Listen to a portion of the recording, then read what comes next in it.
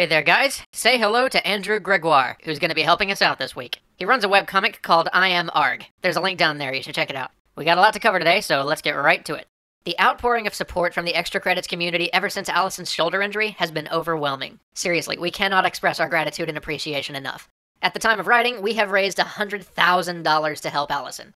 That that isn't just beyond our expectations, that is an order of magnitude beyond our wildest hopes. In fact, I have to confess, it's something we weren't really prepared for. Now, many of you have had some great questions for us regarding the fundraiser, which we tried to answer over Facebook and Twitter, but you all deserve a full fledged response, so here it goes. First, the bonus episode you donators get access to. Allison's expressed a desire to make the bonus episode herself once she's recovered, and I think that's a cool idea. It's literally the episode you guys paid to make possible. This puts it down the road a little while, but I think that's worth it. As far as the rest of the rewards go, assuming you put valid information in when you signed up for Rocket Hub, we should have all of your info now that the fundraiser's officially ended. So the t-shirts and such should be getting sent out shortly. If you wanted to protect your privacy and didn't use your real information, just send us an email at our usual address, extracredits at gmail.com, with the title Wrong Rocket Hub Information in all caps. Tell us the information you gave and we'll get it sorted out.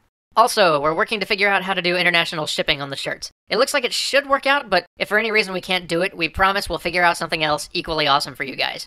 So, on to the big question. You guys handed us $100,000? That carries an immense responsibility. Even with the cost of additional surgeries, physical therapy, taxes, the percentage Rocket Hub takes out, the cost of printing and shipping thousands of shirts, it looks like we'll definitely have money left over. And we felt an incredible obligation to find the right use for it. We've spent many weeks thinking this over, trying to make sure we do the right thing with the funds provided. Something that's fun for everybody, but also might do some good. After thinking it over a while, we asked ourselves, alright, what was this fundraiser really about?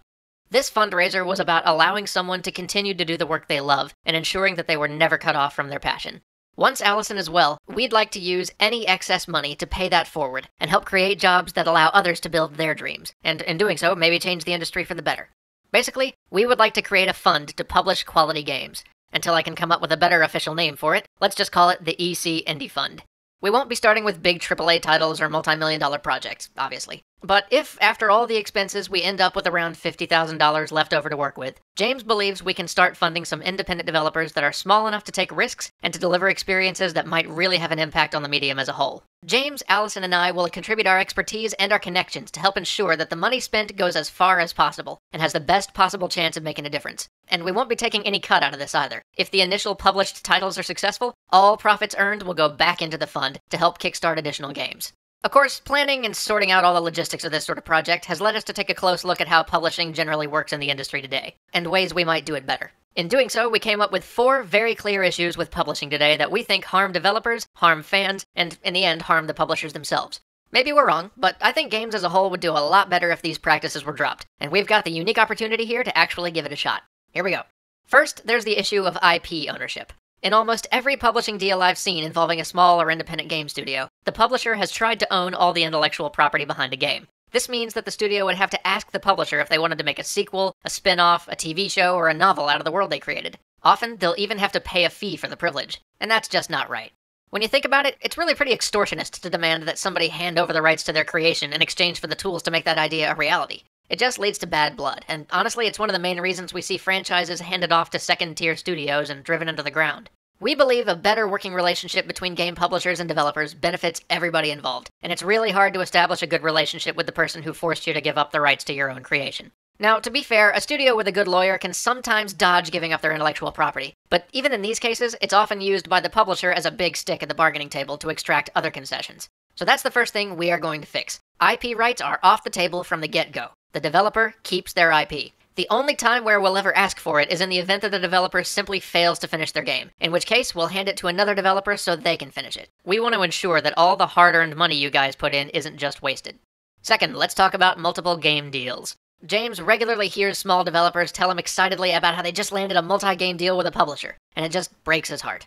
Multi game deals are actually a trap. At first, it sounds like an altruistic offer to publish your next several games, but they are not. They're actually an agreement that basically says, hey, if your first game's wildly successful, we have the rights to publish your next one under the same terrible terms. And these deals are always at the option of the publisher, too. So if they decide they don't want to publish your next game, even with a multi game deal, they can drop you like a rock.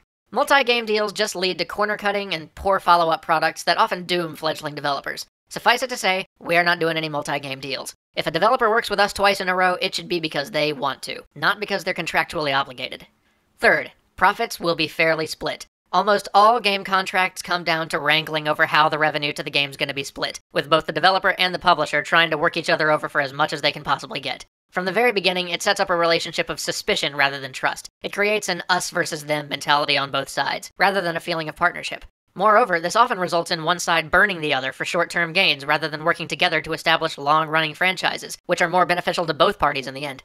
So, we intend to do a 50 50 split with our developers on the net profits of any game we publish. The developer keeps half, and the other half goes right back into the publishing fund where it can be used to start future projects. This sets out a clear and equitable partnership from the very beginning. We assume the risk by putting up the money, they put in the labor and the time to build the game. Now, that'll also mean that we'll probably expect our developers to be more efficient than those working for 20 80 split of American box product sales or what have you. We are here to work with developers who love what they do and have a game they are burning to make. We're not going to have a lot of patience for someone who tries to take advantage of that trust.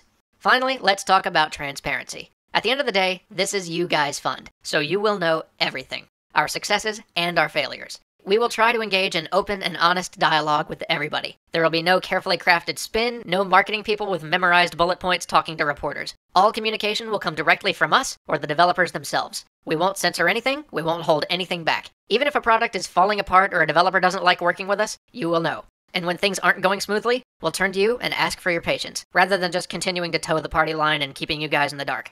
Now, that's not to say we won't advertise the game, but we'll do it with the honesty and sincerity befitting the trust you've placed in us. We do see this as a community, and even though we have every intention of running this like a proper business, we don't see you guys as a community we have to lie to. Better games sell better, and no amount of hype will change that. In the end, for all the minutiae of how publishing works, and for all the different practices that different companies use, one thing remains universally true.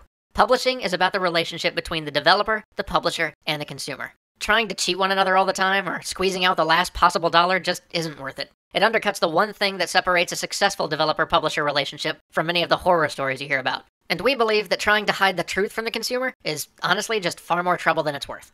It may take us a year to find the right game to start with. We aren't going to make any hasty moves or jeopardize any of the funds you guys have raised. Since we don't need to make money off this, we're under no pressure for time. But we do now have a chance, thanks to all of you guys, to do something potentially great. So we do need to find the right title to launch with, and the right people to stand behind to put money toward their dreams. With time, dedication, and a little luck, we'll be able to keep many people employed doing what they love. With time, dedication, and luck, we'll be able to change the industry just a little bit and create a space where games are measured on their merit rather than on their marketability. And if we are very, very lucky, we may even be able to expand who gets to make games. If any of you want to help further support this endeavor, the Rocket Hub link is below, with new prizes and rewards befitting this new journey. Thank you all again. None of this would be possible without you guys. Thanks for letting us get that bit of business out of the way. We will see you next week.